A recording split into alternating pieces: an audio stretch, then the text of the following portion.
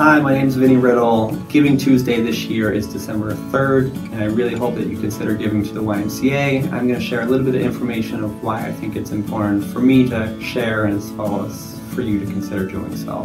What I really love about the YMCA is that we're starting swim lessons at age six months and we're transitioning that through the preschool years, youth ages all the way up to 16. So our participants and program members, they're learning general water safety, they're improving their swimming ability, and what's super fantastic about is that aquatics and swimming, it's a lifelong leisure skill, so outside of the YMCA, someday they can enjoy this uh, throughout their lifetime and share it with their loved ones, family, and friends.